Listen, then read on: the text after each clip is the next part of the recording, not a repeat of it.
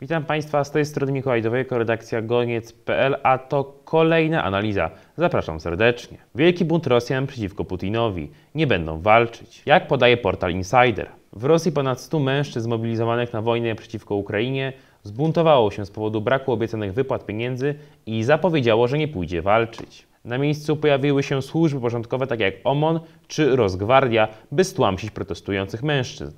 Mężczyźni pochodzą z Czuwaszii, a cała sytuacja miała miejsce w ośrodku szkoleniowym w Ulianowsku na południowym zachodzie Rosji. Zmobilizowani nagrali wideo, na którym mówią, co konkretnie nie podoba im się w działaniach władz. Mówili również o swoim dowództwie, a także odmówili udziału w walkach, krzycząc jeden za wszystkich, wszyscy za jednego. To nie pierwszy tego typu przypadek, gdy zmobilizowani żołnierze skarżą się na dowództwo czy wyposażenie.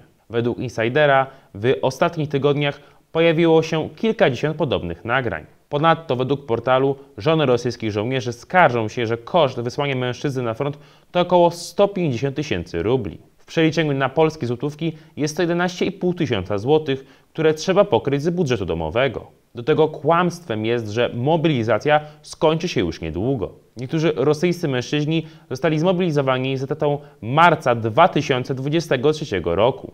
Objaśnia to niezależny rosyjski portal Możem Objaśnić. Pokazuje to, że wszelkie zapowiedzi Kremla o końcu branki są kłamstwem, a mobilizacja potrwa jeszcze długo. Nie znamy dokładnych terminów, ale kolejna faza mobilizacji może zacząć się szybko, nawet zimą. O tym, że planowany jest jej kolejny etap, powiadomili już gubernatorzy regionów graniczących z Ukrainą, obwodów kurskiego, woroneckiego i rostowskiego. Ale władze centralne dotychczas dementowały wszystkie takie pogłoski. Wszystko zaczęło się 21 września, gdy Putin wydał dekret o częściowej mobilizacji. Żeby ochronić Rosję, miał użyć wszelkich środków. Według niego zrobiono to, by bronić Rosji właśnie przed wpływami Zachodu. Władze rosyjskie deklarowały, że zmobilizowano 300 tysięcy mężczyzn.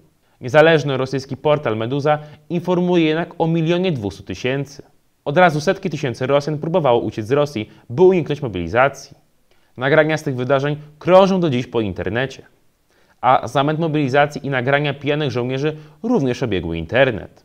Przez zamęt mobilizacji do wojska miały być powoływane osoby niepełnosprawne czy też bez doświadczenia. Ponadto warunki bytowe były fatalne, a broń przekazywana zmobilizowanym przestarzała. Jak informuje ukraiński projekt Inform Napalm, zmobilizowany Rosjanin trafia na wojnę średnio po 7 dniach od otrzymania wezwania, a ginie po 12. Na polu walki spędza zaledwie około 4 dni. Wielu komentatorów mówi w tym przypadku o tak zwanym mięsu armatnim. Pytanie do Was, co sądzicie o rosyjskiej mobilizacji i strategii wojennej?